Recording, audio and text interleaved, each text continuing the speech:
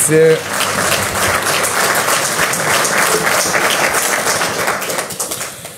Grazie, pomeriggio di, di appunti.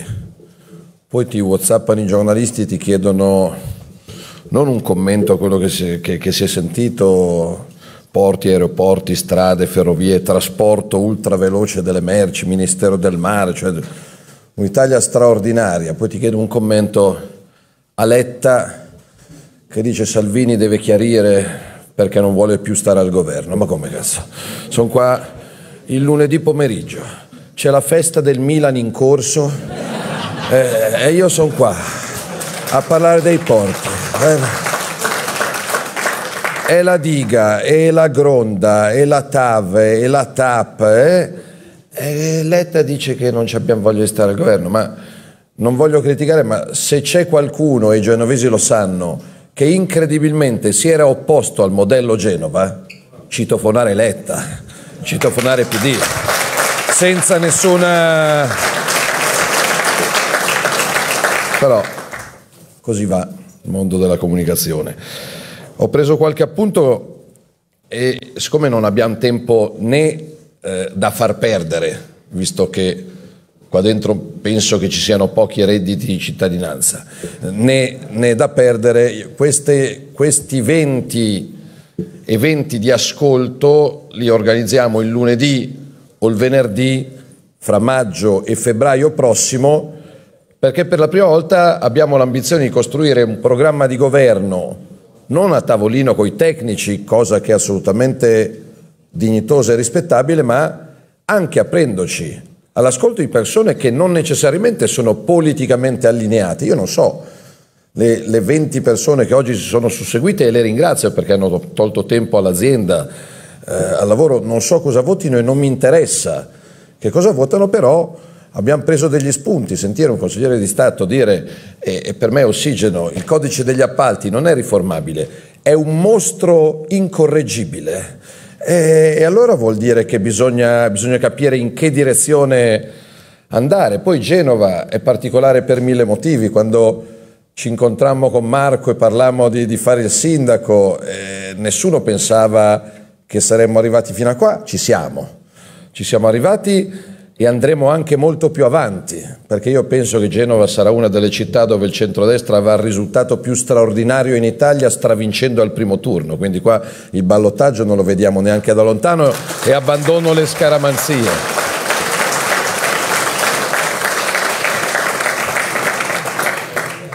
Perché Marco, la Lega e la squadra di governo si presentano dopo cinque anni con delle cose fatte, ovviamente con eh, nel cassetto dei progetti delle cose da farsi, però un sindaco che dopo cinque anni si presenta dicendo solo faremo non è credibilissimo. Io ricordo quei drammatici momenti di quella stramaledetta estate che, che ancora adesso piangiamo.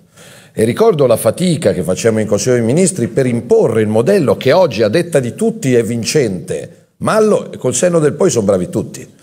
Allora, quando insistevamo su un modello straordinario, con poteri straordinari, all'uomo solo al comando, eh, apriti cielo, eh, i sindacati alla corruzione, l'anticorruzione, la mafia, gli incidenti sul lavoro, i ritardi, chissà poi cosa succede, chissà chi vince gli appalti. E invece managerialmente dicemmo, qua se seguiamo le normali regole fra vent'anni siamo ancora in fase di progetto preliminare e a Genova vanno in giro col, col carrellino.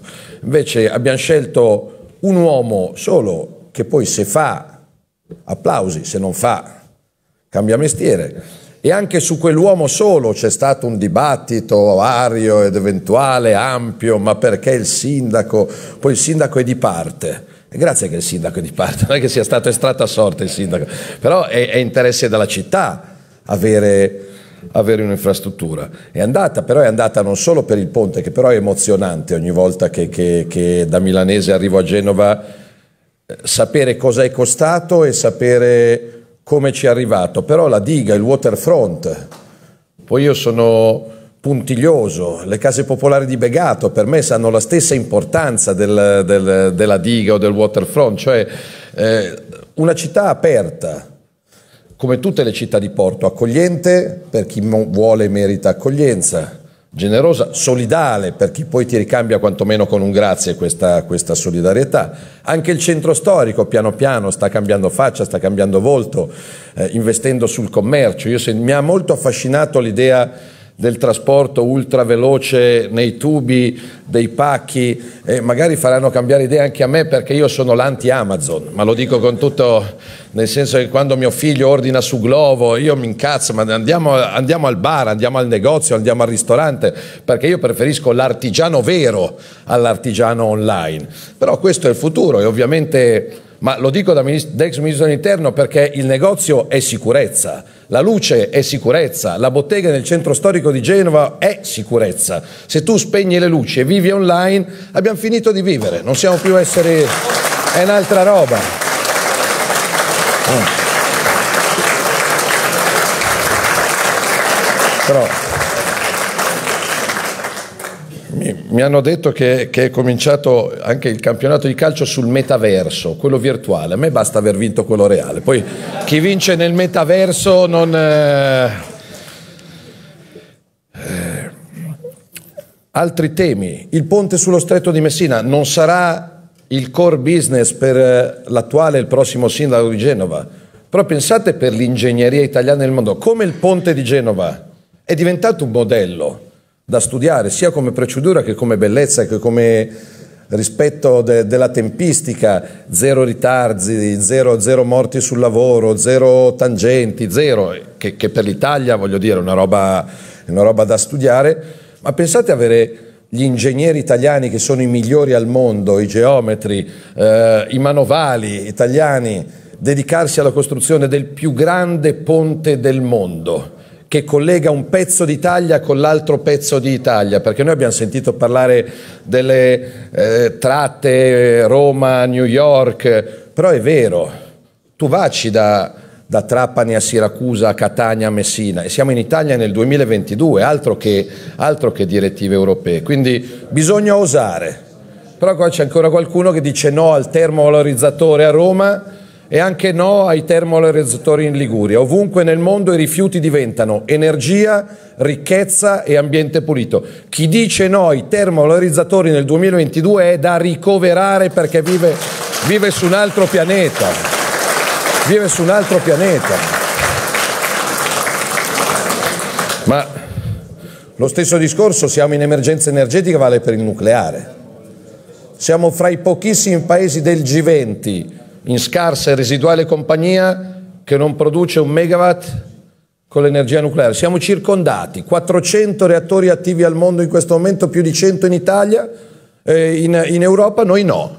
Perché? C'è il NOTAV, quante nottate non so chi parlava del rapporto costi-benefici e lì c'erano i tecnici che ci spiegavano che era più conveniente riempire con della pietra un buco sotto la montagna che andare avanti a scavare il buco sotto la montagna. E abbiamo dovuto fare ore ore ore di... e in Notav, e in Notap, e in Ogronda, e in qui e in là. Lo dico al signor Letta, la Lega è per i sì L'Italia è stata affermata per troppi anni dai signor no su tutto, abbiamo bisogno di sì, altrimenti altro che dipendenza. Eh, mi messaggiava adesso eh, un esperto di, di materie prime, abbiamo parlato di materie prime, avete parlato di materie prime.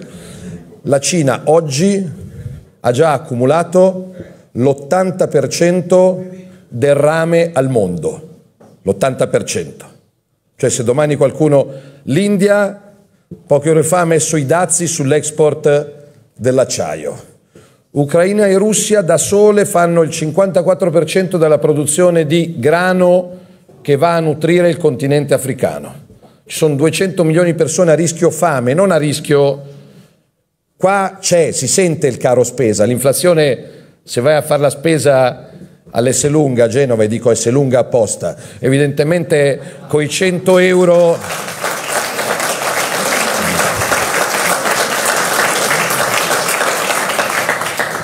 Ecco, mi è venuta... Eh. Però è chiaro che l'italiano adesso con, con, lo stipendio di prima e con la pensione di prima, se prima con 100 euro riempiva il cappello a livello 10, adesso lo riempie a livello 8. L'inflazione al 6% significa che se uno ha 100.000 euro sul conto corrente, a fine anno rischia di averne 70.000. Quindi per noi è un problema, evidentemente. In Senegal, in Namibia, in Egitto e in Congo non avere grano non è un problema di riempimento del carrello, è un problema di sopravvivenza. E quando hai 200 milioni di persone che non hanno da mangiare, a cui non puoi dar da mangiare un eh, fucile o un dollaro perché non sono digeribili, indovinate voi, queste 200 milioni di persone per sopravvivere dove vanno e dove mirano ad andare. Quindi fermare la guerra adesso non è un ghiribizzo. Fermare la guerra adesso è un dovere morale, primo per salvare vite in Ucraina e in Russia, secondo per salvare milioni di persone nel continente africano, terzo, ma non ultimo, per salvare migliaia di posti di lavoro in Italia, altrimenti gli operai a settembre stanno a casa e noi abbiamo il diritto di difendere l'interesse nazionale italiano. Il Ministero del Mare, ci riproviamo, perché poi lo dicono tutti i fascichi in campagna elettorale, fa figo perché vai, magari vai a Belluno no, però vai, vai a Spezia, vai a Civitavecchia eh, o vai a Gioia Tauro, è chic dire noi vogliamo il Ministero del Mare, poi vai a vedere negli anni, noi siamo testoni, ci riproviamo, il Ministero, un, un sottosegretariato, una, una, una responsabilità ad hoc, perché quello che mi conforta oggi ho sentito che più sono le persone che devono decidere su una questione, più questa questione ha la garanzia di essere risolta. Quindi una persona che risponda nel bene e nel male di quello, di quello che, bisogna, che, bisogna, fare. Sul, sul, codice degli appalti mi, mi, era sfuggito il passaggio, non riesco a seguire tutto, del, della delega al Consiglio di Stato. Noi siamo qua oggi a occuparci dei balneari per eh, sta benedetta sentenza del Consiglio di Stato. E...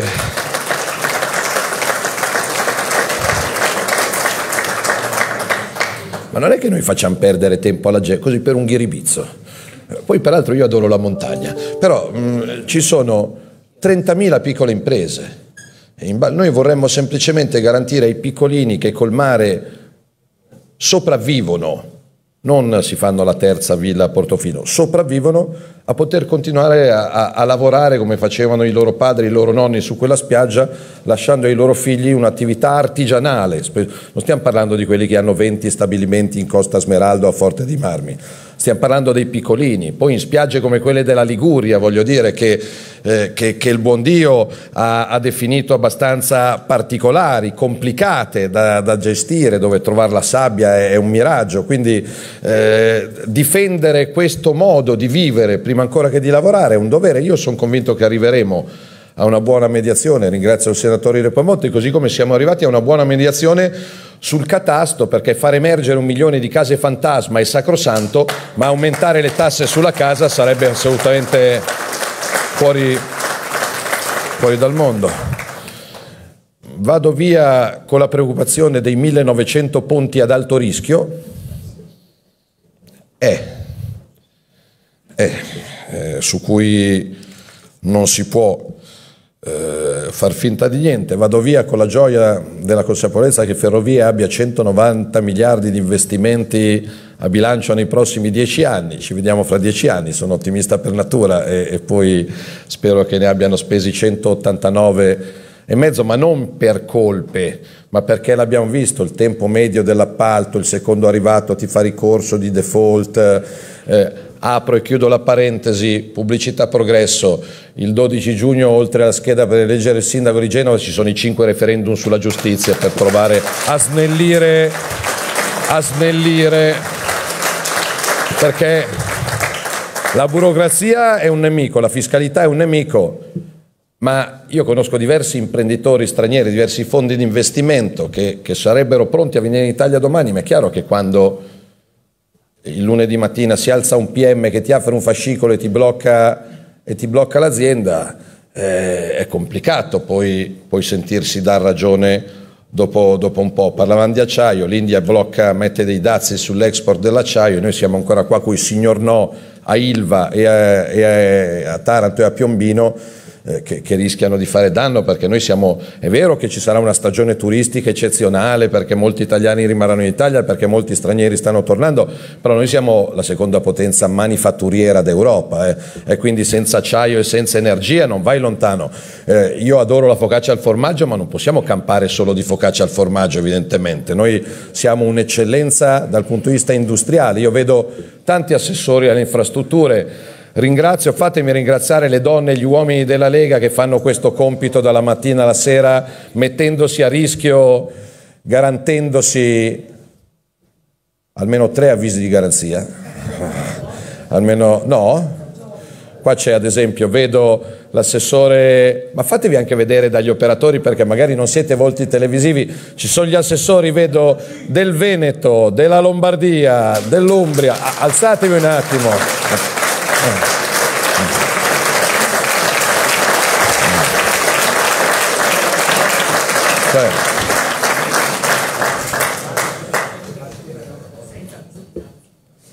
Tre, tre donne su quattro assessori, tre donne a occuparsi di infrastrutture, ma non eravamo un partito maschilista, sessista, discriminante, basta che siate fluide, l'importante è così almeno copriamo tutte le...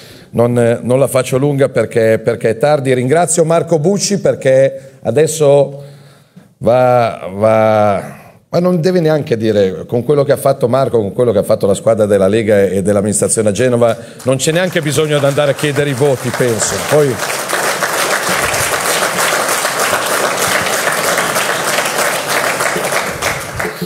Io di solito sono scaramantico, però quando le cose le tocchi con mano e poi è, eh, è, è difficile. Quindi, quindi, grazie. Io, la, la, voce che ho oggi è quella che mi è avanzata da Reggio Emilia ieri con, eh, con mio figlio, però vale, vale doppio. Quindi ci rivedremo a Genova. Non è solo una cosa di forma ma è di sostanza, l'ho detto a Edo, eh, l'ultimo giorno di campagna elettorale che per i segretari di partito è quello più importante per dare i messaggi finali, eh, io lo passerò a Genova, perché è una città a cui sono legato particolarmente e perché... Genova...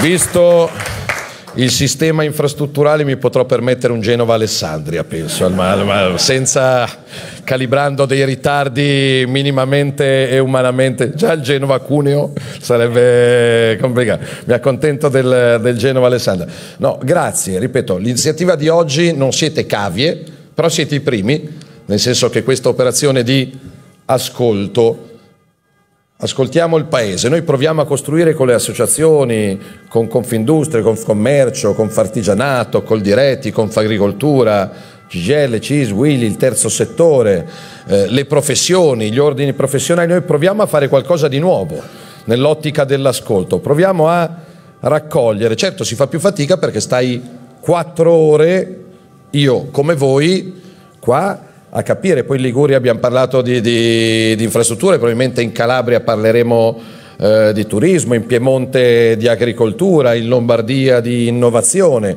Quindi ciascuna delle 20 regioni avrà il suo target e poi anch'io come segretario proverò a chiedere dei risultati.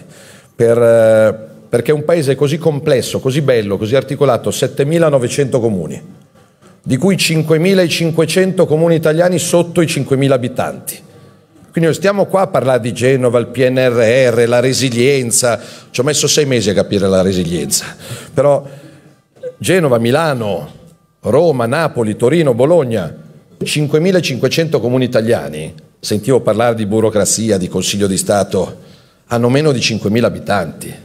E tanto se hanno il segretario comunale, e tanto se hanno il geometra, e tanto se hanno... Ci sono sindaci della Lega che la sera prendono la paletta e fanno i comandanti della polizia locale.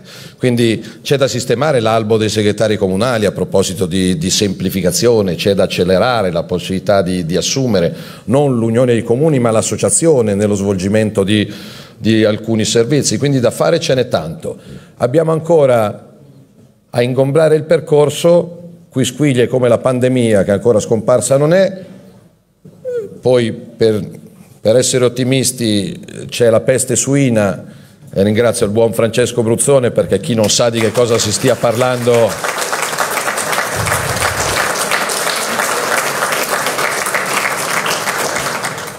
pare che arrivi il vaiolo della scimmia, io non so più cos'altro dobbiamo... È veramente una roba, è un periodo... E la guerra, e chiudo con questo, la guerra perché pace non significa adesso eh, scendere, togliersi giacca e cravatta, andare nei carugi facendosi un cannone con la bandiera della pace, peace and love. No, pace va studiata, va costruita, per costruirla devi avere un tavolo, perché se ci sono due che si stanno sparando, ben sapendo chi ha cominciato, eh. sempre perché devi fare la premessa d'obbligo, se no ti accusano, sei amico di, cugino di, uno attaccato e uno è stato attaccato, uno aggredito e l'altro è stato aggredito. Fatto salvo questo, domani è il terzo mese di guerra, contiamo alcune decine di migliaia di morti, contiamo, ripeto, il blocco della, della raccolta e della semina, eh, perché Ucraina e Russia sono quelli che sfamano il mondo. Eh, se però non raccogli quello che hai seminato non puoi seminare e se non semini adesso non raccogli a settembre. E quindi non, occorre uno scienziato per intuire che nell'arco delle prossime settimane rischiamo la catastrofe. Non entro nel merito del conflitto nucleare, del missile sbagliato, dell'aereo sbagliato al posto sbagliato. No, parlo proprio di quello che è scritto, di una catastrofe a livello planetario con un esodo biblico che al confronto gli sbarchi di Lampedusa, seppur eccessivi, sono qualcosa che, che viene dimenticato. Quindi eh, fare la pace significa ragionare con i due che, che se le stanno dando. Poi saranno loro due a decidere qual è il punto d'incontro, se c'è il punto d'incontro, perché i giornalisti ogni tanto mi chiedono ma secondo lei Zelensky cosa dovrebbe chiedere, Putin cosa dovrebbe dire? Io non sono né Zelensky né Putin. Il mio dovere di politico e di uomo è fare il piccolo che posso fare per mettere intorno a un tavolo, poi se la risolvono loro. Non è questione del sindaco di Genova, di Salvini, della Nato, di qualcun altro. Sono loro che però si devono sedere intorno a un tavolo, perché fino a che si sparano è difficile farli sedere intorno a un tavolo. Quindi eh, costruire la pace penso che sia non un diritto, ma un dovere di tutti. Siccome c'è qualche mio collega politico parlamentare che parla con semplicità e scioltezza di armi e di guerra anche nei prossimi mesi, nei prossimi anni. Ma se la guerra va oltre, ragazzi, qua non c'è da parlare di waterfront, di diga o di gronda, qua non ce n'è per nessuno. Quindi è obbligatorio per chiunque abbia coscienza e responsabilità umana e politica fare di tutto per fermare la guerra adesso, prima che sia troppo tardi, facendo tutto il possibile. Quindi, facendosi carico anche di, di accuse, di, di, tutto che, di, tutto quello che, volete. Però c'era uno scrittore cileno che, che ha scritto un, un librettino, librettino, sminuisco, un libro bello, in cui un gatto insegnava a volare a una gabbianella, che è una roba abbastanza improbabile. E la lezione del tutto è che vola solo chi osa farlo. Non è il momento dei pavidi non è il momento dei vigliacchi, non è il momento dei paurosi, dei timorosi, è il momento in cui occorre fare delle scelte di precisa responsabilità. Si può vivere o commentando la vita degli altri o vivendo in prima persona e assumendosi delle responsabilità di far bene o di sbagliare. Ecco, Genova, la Liguria, l'Italia hanno bisogno di persone che sono pronte ad assumersi delle responsabilità. Non abbiamo bisogno di commentatori del bar sport o di odiatori o di invidiatori di professione. Fare, fare e fare è la nostra missione. Buona fortuna, viva Genova e viva la Lega.